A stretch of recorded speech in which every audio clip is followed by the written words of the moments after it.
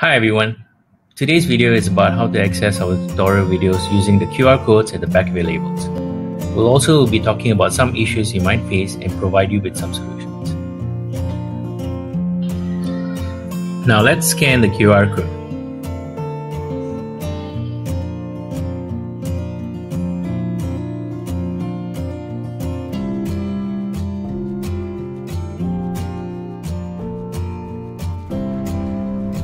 So on an Android phone, you just have to download a QR code scanner from Play Store.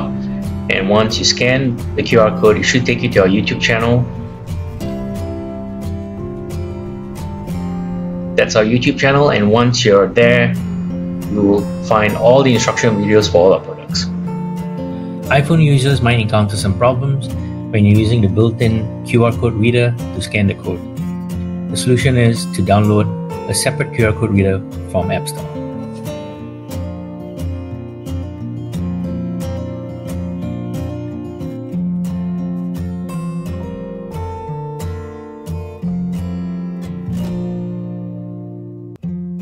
So you might encounter this. Uh, this is a built-in QR code reader on an iPhone. It comes with the phone.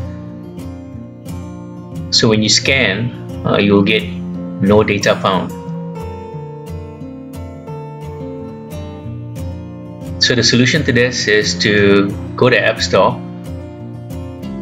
and download a QR code scanner separately and it should solve your problem.